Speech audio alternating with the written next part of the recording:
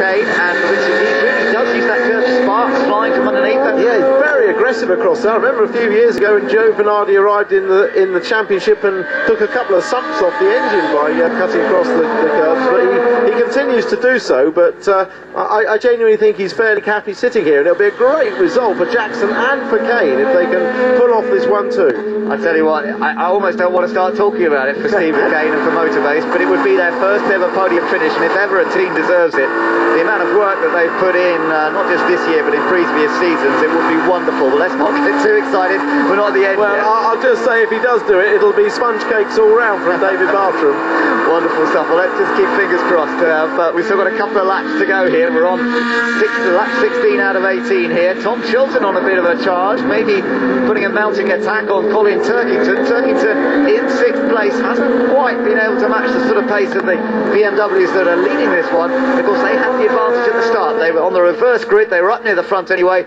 They used their rear-wheel drive advantage at the start very, very effectively. And Matt Jackson, when he gets in front, as you said, Tim, he, he loves it. That's where he wants to be, controlling a race. Stephen Kane and Giovanni both bounce over the curve there the first part of Russell. And Stephen Kane doing a good job so far, not being rattled by uh, seeing his mirrors filled by the reigning champion and points leader as they come around. Complete another lap. That's just two laps to go now.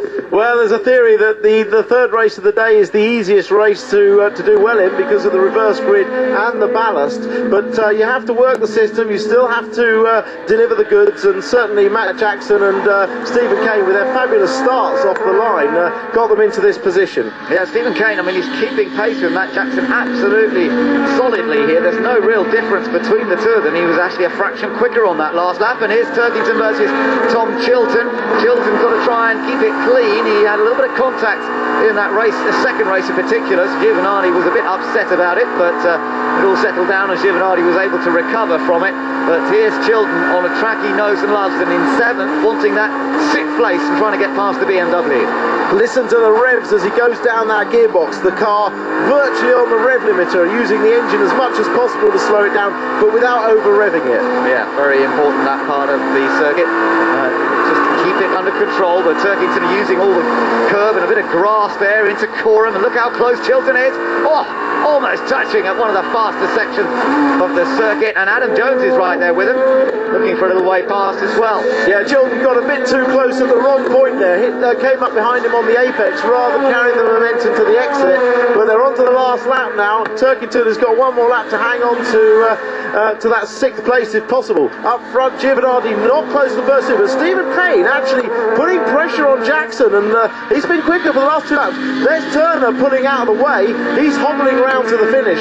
Yeah, and Jackson actually kicked up the uh, dust and the grass on the exit of the Sear. He is under pressure from Stephen Kane. Released from Giovanni. Stephen Kane fancies his chances a little bit. Down under the bridge they go. Jackson still in front at the moment.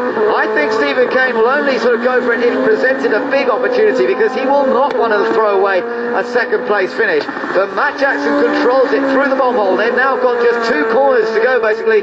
The fast sweeping Coram corner. No problems through there. And then down to the final right left. That's the Russell chicane. And it's Matt Jackson that's heading for victory. Stephen Kane jumps over the curve into that one. Matt Jackson's going to come through to take his second victory of 2008.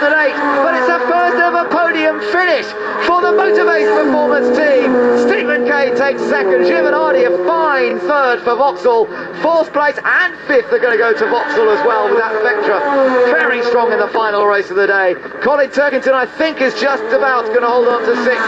Yes, he does from Chilton Jones, Stephen Jelley in the points this time, and Rob Collard. But congratulations to Matt Jackson, the fourth win of his career, and just when he needed it after such a tough time in the first two races of the day. Matt Jackson takes victory, but a fantastic second place for Stephen Kane, the 28-year-old from Northern Ireland, driving for the Motorbase team, the Rutum in Kent-based team that have worked so hard in British touring cars over the last couple of seasons.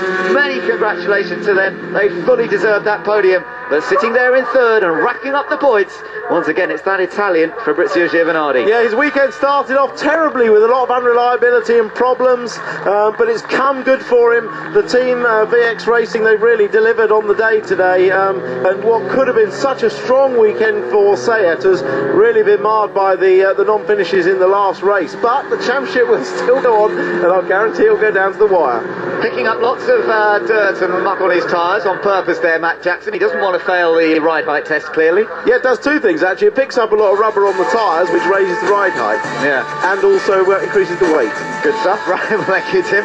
Matt Jackson, race winner from Stephen Kane in second place, Motorbase's first ever podium. Giovanardi third, Matt Neal fourth, and Onslow Cole fifth. Look at that, VX Racing getting a great result. Team RSE had their man in sixth, Colin Turkington, seventh for Tom Chilton. Adam Jones in eighth place ahead of Stephen Jelley, with Rob Collard in tenth place in the other Motorbase car. And then uh, just outside the points, John George. Good result for him though, ahead of Michael Doyle again, the youngster doing brilliantly well.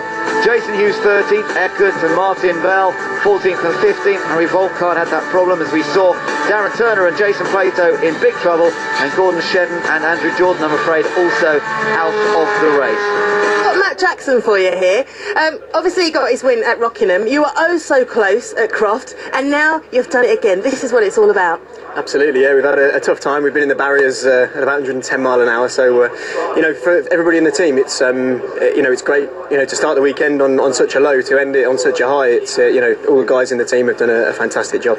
Let's uh, go through the start because uh, that's where it all matters, isn't it? You've got to get a good start and stay out the front, especially when you've got people hot on your tail. Sure, yeah, it's you know the start is so key, and uh, we didn't actually get that good a one. Uh, Stephen got a bit of a better one, and uh, he looked down the inside at this point, thought, well, you're not going to have it that easy. It's so early. Um, we're on the marbles, and the car was a bit sideways. Thought, right, he's going to set it up into uh, into Sear, but we managed to hold it, and I think really that was the key to the race. It's you know the cars are so close out there, and the, the, the, key is the start for sure, especially with you know the BMW rear-wheel drive. It's it's fantastic.